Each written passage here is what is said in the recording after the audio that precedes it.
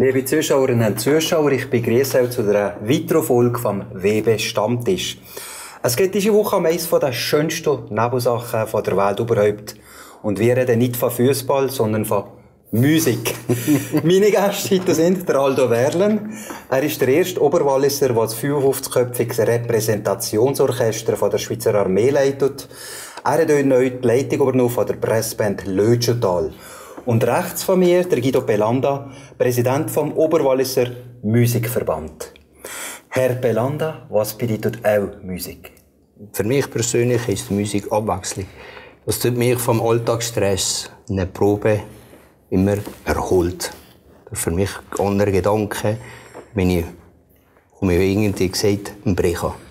Und da kann ich mich entfalten, weil ich den ganzen Tag in der Stresssituation war. Für mich ist es Musik ein anderes Leben. Für mich persönlich. Eine Bereicherung im Alltag. Ja, richtig, das, das kannst du sagen. Wollen. Ich Was kann da abstellen. Bedeutet auch Musik? Rein privat? Also für mich ist Musik, wie es ihr einleitend schon gesagt es ist die schönste Nebensache der Welt. Aber ich hatte das Glück und das Privileg gehabt, dass ich eben die Nebensache, mein Hobby, hat zum Beruf dürfen machen. Und von dem her ist natürlich Musik hat immer schon einen sehr hohen Stellenwert in meinem Leben gehabt. Aktuell nimmt es enorm einen hohen Stellenwert ein und ich hoffe euch in Zukunft. Spielt ihr selber ein Instrument oder mehrere sogar? Ich spiele mehrere Instrumente, aber eigentlich mein Hauptinstrument. Ich bin Schlagzeuger, ausgebildeter Schlagzeuger. Ich habe meine Studien an der Musikhochschule in Zürich oder am Konservatorium in Zürich gemacht. Als Schlagzeuger? Als, Klass als klassischer Schlagzeuger, genau. Richtig. Also könnte man auch in jeder Band einsetzen, wenn jetzt ACDC irgendwie einen Schlagzeuger bräuchte. Ja, ich, ich, ich weiss nicht, ob ACDC jetzt gerade unbe unbedingt zu meinem Kerngeschäft kehrt. Es wäre sicher eine Herausforderung. Das auf alle Fälle. Wahrscheinlich für die Band und für mich wäre es eine Herausforderung. Also es ist schon eher der klassische Bereich, wo ich, wo ich Man abdecke. Man ja. ein bisschen Absolut. Gemögiger. Ja, genau. Ihr, Belanda, was spielt ihr für ein Instrument? Also ich spiele nicht mehr, aber ich habe Trompete gespielt. Das ist natürlich wieder eine andere Herausforderung, ja. mehr richtig Blastechnik und Kraft. Ja, richtig, und richtig. steckt viel dahinter. Und wie seid ihr aufgekehrt? Ja, das heisst so, ich muss ehrlich sagen, ich habe in der Jugendmusik Bellab gespielt, bin nachher in die Bellab gekommen, habe nachher durch berufliche Umwandlung einen Brief Genf arbeiten. Das bin nicht mehr gelangt. Und ich habe mir gesagt, wenn ich mal je wieder selten in einer Musikgesellschaft darf beitreten, dann mache ich den 25. ganz sicher. Das war mein Ziel. Und der 25. habe ich dank der Musikgesellschaft Eintracht Mörl machen. Habe im 2013 der Veteran gekriegt endlich nach langer Zeit. Und einfach gesagt, so, jetzt ist der Zeitpunkt da, wo ich die Trompete ans Kofferli tue. Mhm. Und der hat gleich um das wichtige Amt übernommen, vom Präsident vom Oberwalser Musikverband? Das habe ich dann im Jahr 2012 übernommen. Oder ich war zuerst Bezirkspräsident von hier vom Bezirk Brick. Dann, wie das so ist, kann man da fragen, wie sieht es uns, Welt ist, kennt ist und und das ist natürlich so, wenn man heute eine Familie hat, tut man das zuerst mit der Frau besprechen, zu schauen, wie die Zeiten sind. Kann man das? Darf man? Oder wie siehst du das? Das ist ein Aufwand, ich bin da viel weg und, und, und. Und sobald die Frau sagt, jawohl, du darfst, dann macht man das. Und sie hat sofort Ja gesagt? Ja. ja. Seid ihr euch verheiratet? ja. Aber nein, jetzt muss ich sagen, nein, sie hat sofort gesagt, wenn dir das gefallen tut und du dich da bereit fühlst, wieso nicht? Wie groß ist das Engagement etwa? Also, es ist ein, nicht ein riesen Aufwand, der würde jetzt legen, aber es ist doch viel zu tun, weil man muss Sitzungen vorbereiten, man müssen, wenn man das Oberwalliser vergibt, muss man da natürlich auch die Schauen alles zusammen schauen, die Plätze alles zusammen. Also, ich kriege so im Jahr mit Musikgesellschaften mal galose Musik, oder? Vom Goms bis zum Brenner, Susta. Also, also im Durchschnitt kann man sagen, ich bin so zwischen 30, 35 bis 40 unterwegs. Mhm. Evers Engagement ist natürlich durch die Swiss Army Central Band riesig geredet. Jetzt gerade das Brick Probe gehabt. Wie, wie sieht das so ein Tag aus? Ist man da von morgen bis am Abend am Orchestrieren, am Leiten? Also so ein typischer Probetag beginnt am Morgen um 8 Uhr. Und den proben wir wirklich durch bis um 12 Uhr. Und Nachher ist kurz Mittagspause und am Nachmittag halb zwei bis um halb sechs, sechs geht's weiter, weil die Problematik, die wir hier haben, ist, wir sind ein Milizorchester, wir haben nur eine gewisse Anzahl Diensttage äh, zur Verfügung und entsprechend müssen wir die Zeit, die wir haben, natürlich extrem gut und intensiv und effizient nutzen und äh, darum gibt es zum Teil halt schon relativ lange Probetage. Da redet man ja auch von WKs. Kennt ihr dort zwei oder drei Wochen, wenn ihr dann jeweils mit denen zusammen seid? Es ist nicht der typische WK, wenn man jetzt sonst vom Militärdienst kennt, der eben drei Wochen terminiert ist. Im Gesamten über das Jahr gesehen machen die drei Wochen Dienst, aber es sind immer so äh, Phasen. Also jetzt beispielsweise jetzt sind wir ähm, ist ein Vorbereiter für die Goldene Marschparade. Das ist ein Projekt in sich und dann wird das abgeschlossen nach einer Woche. Und dann gehen wir das Jahr, dann im August, gehen wir auf Hamina, auf Finnland, ein Tattoo. Und da werden wir die, äh, die Schweiz repräsentieren. Und da freue ich mich schon riesig drauf. Also vielleicht gerade das Wort zum Tattoo. Es hat also nichts mit den zu tun, sondern es sind so Musikveranstaltungen gewesen. Absolut korrekt. Also ins Publikum, ähm, ist, ich sage jetzt einmal, doch schon im eher gesetzteren Alter. Und wenn wir von Tattoo reden, wissen die Gott sei Dank, was für Tattoo wir meinen. Warum braucht es überhaupt in der Armee Musik? Ja, ich habe es vorher kurz angesprochen, oder wenn man einen Namen eben genau, wenn man den analysiert, Repräsentationsorchester, wir repräsentieren irgendetwas. Und wir sind wirklich ein Bindeglied zwischen der Armee und der Zivilbevölkerung. Also wir sind ein Instrument für die Armee, dass man beispielsweise eben durch der Zivilbevölkerung kann Danke sagen mit dem Konzert, dass man die Zivilbevölkerung, dass die spürt, die Armee ist nach wie vor präsent. Und das ist eigentlich die Aufgabe, die wir haben. Wir wollen eigentlich mit dem nicht mit Schiesslärm oder mit äh, Dieselgestank oder was auch immer. Wir wollen mit schöner Musik der Bevölkerung Danke sagen für die Unterstützung, wo, wo die Armee nach wie vor in der äh, Bevölkerung hat. Und ihr spielt ja auf allerhöchstem Niveau. Das sehen wir dass das Konzert sogar im Kapels Luzern ausverkauft sind.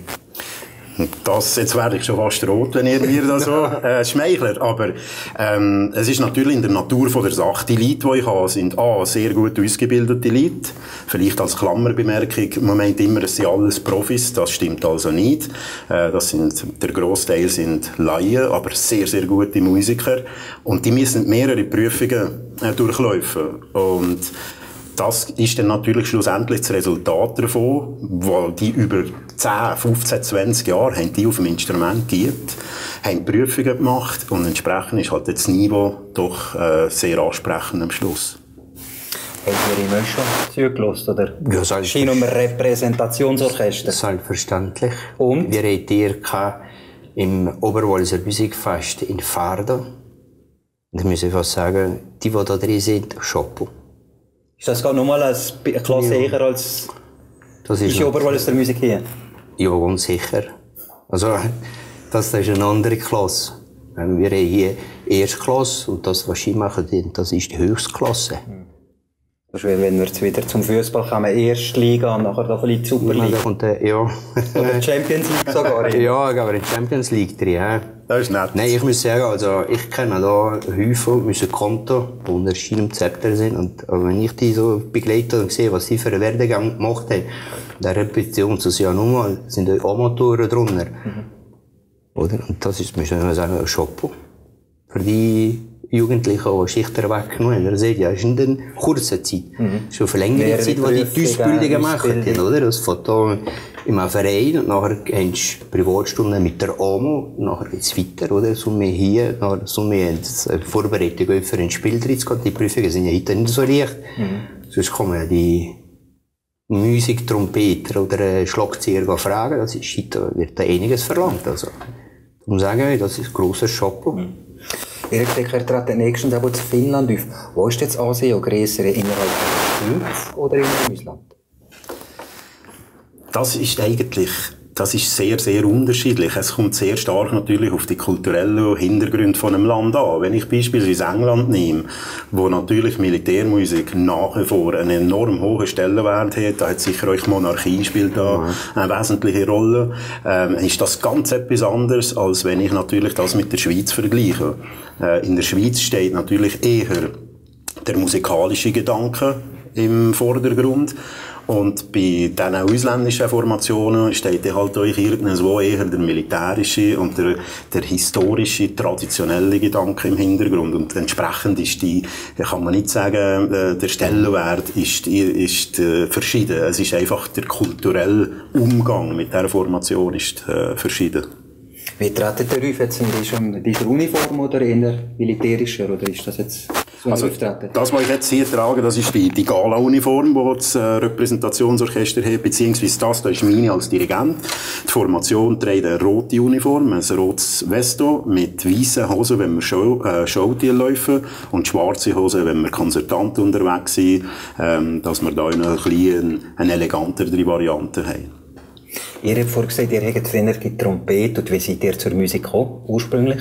Habt ihr euch in einem Verein gemacht? Ja, das habe ich ja vorher gesagt, ja. Äh, mit der Jugendmusiknote schon angefangen. Ja. Aber das war so, gewesen, dass, wie jetzt aber wieder machen, dann hast du in die Schule verbieten, Instrumente zeigen. Das ist früher im 1974. Sind die vorbeigekommen von der Bellalp. Und dann habe ich nachher gefragt, wer ist gewillt? Oder? Dann hat er gesagt, ja, selbstverständlich. Sie waren aber zwei Kollegen gewesen, die miteinander das gemacht haben. Jetzt einfach gesagt, so, zuerst ein Jahr ist Theorie. Aber wenn das gut war, hast du einfach mal alte Instrumente gekriegt, oder? Und wie das euch geht, dann hast du so ein. Oder der Vater einfach hat müssen unterschreiben. Und die Probe macht er schon eine halbe Stunde daheim, oder? Und dann ist zum Privatlehrer, wie die Strukturen jetzt sind, hat es dazu mal nicht gegeben, hat dir einfach einen Kollegen, oder sagen wir das mal ein älterer Gardist von der Wellalp, hätte dir da Unterricht gegeben vom Instrument. Nachher ist es so gewesen, dass ein 76, mittlerweile hat ja jetzt gerade die Jugendmusik Noter 40 Jahre gehabt. Mhm. Und 76 war irgendwie die öffentliche Auftragung gewesen. Mit neuen Instrumenten, aber noch keine Uniform, wie die Jugendmusik Blick hatte. Und von daher ist jetzt die Jugendmusik Noter, und ich auch sehr stolz bin, dass ich da mitmachen darf. Derzeit sind ja überall die Bezirksmusikfeste, äh, die Wochenende in den verschiedenen Bezirken. Was haben die für einen Stellenwert? Wie schätzen ihr das Also die Bezirksmusikfeste, oder? Das ist ja der Grund, dass man sagt, wenn, das sind irgendwie die Feste, wo man Kameradschaft pflegen tut. Oder? Mal weg vom Altstadtstress. Kein, kein, sagen Sie jetzt in Anführungszeichen, kein Konkurrenzkampf untereinander, weil es ist bestes Musik und und und. Das ist einfach rein, dass man miteinander zusammen ist, der Beruf führt, die Kameradschaft pflegen tut. Oder jetzt die zwei Wochenende hat es jetzt aber auch getroffen, dass bei Agora Keppel, nachher war Eckerberg und Kranjolsch. Es gab vier Stück nacheinander, aber das Problem ist mit dem Organisatorischen, weil es liegt an Donnerstag vor Leichnam, Nachher ist das Oberwalliser. Nachher am Oberwalliser kommt schon zeitgenössisch. Das ist der Zeitpunkt, wo du tust und, und, und. Da triffst du natürlich, dass ein Bezirk und der andere halt im gleichen Moment haben. Müssen wir das nicht besser koordinieren? Das ist immer, das ist ein grosses Problem. Ich sage auch, ich bin Bezirkspräsident und mit stehen ja die, nicht der Bezirkspräsident entscheidet, wer ist fest, sondern der organisierte Verein, dort schauen, welche Daten sind frei, oder? Und das wird schwierig, weil es ist ja so, die Agenda ist gewesen, voll offen, oder? Da tust du einschreiben, da ist es da, kommt alle, tak, tak, tak. Und dass es Überkreuzungen gibt, das ist ein Thema, das wir immer schon wieder diskutieren. Es ist unmöglich. Man kann sagen, weil der Bezirk macht der, der Bezirk macht der. Mhm. Und der andere macht das. das Überschneidungen gibt es leider aber immer wieder. Wie verfolgen ihr die Feste, die Bezirksmusikfeste?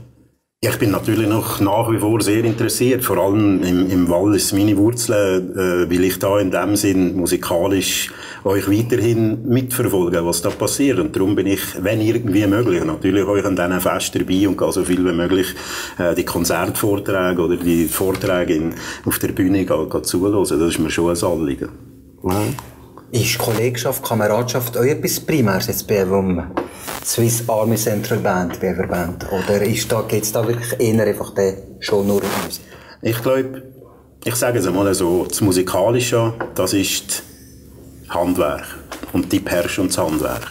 Dass man aber das Handwerk eben kann umsetzen kann, dass auch das Publikum spürt, dass da eine gewisse Freude hinten dran ist und eine Energie und eine Dynamik da ist unerlässlich, dass man eine super Kameradschaft hat. Und das ist für mich eigentlich sogar der zentralste Punkt. Die Stimmung in einem Orchester ist wichtig. wichtig. Und wenn die Stimmung nicht gut ist, kann man euch nicht miteinander Musik machen, weil Musik machen heisst ja nicht zuletzt, ich muss Emotionen irgendwie transportieren. Und wenn ich natürlich äh, denke, hoffentlich ist das so schnell wie möglich hier vorbei, dann, dann, dann gibt es nie zwischen dem Publikum und der, und der Band, da findet die Interaktion nie statt. Und darum ist für mich sogar sehr, sehr ein wesentliches Thema die Kameradschaft. Ist für ein Leben ohne Musik vorstellbar?